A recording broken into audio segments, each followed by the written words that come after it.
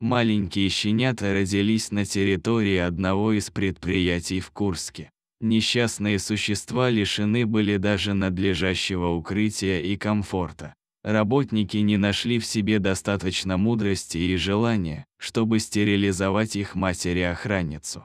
Однажды белоснежный Сеня и его брат Веня стали серыми и покрылись пылью, превратившись из милых щенят в грязных созданий. Жизнь под открытым небом стала для них серией испытаний. Недавно оба щенка тяжело заболели, по возвращении на работу после выходных, люди обнаружили их лежащими на земле практически без сознания. В течение дня они оставались в таком состоянии. Две крошки лежали безмолвно, не способные подняться на лапы. Их состояние было ужасное, а в их глазах была боль и безысходность.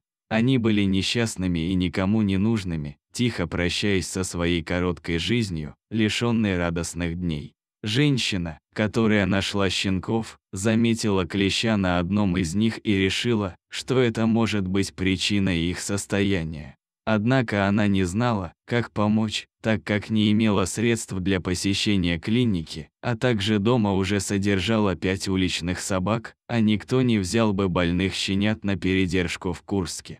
Тогда Оксана позвонила мне и рассказала о беде Сени и Вени. Понимая, что время тикает неумолимо и щенки обречены, я сказала, что готова взять их под свою опеку. Оксана отвезла их в ветеринарную клинику. Врачи поставили удручающий диагноз – вирусный энтерит.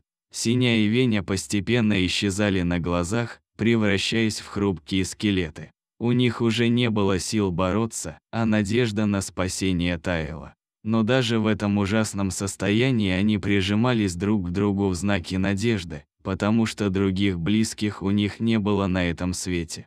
Целые сутки малыши находились под наблюдением в местной стационарной клинике, их состояние оставалось тяжелым и устойчивым.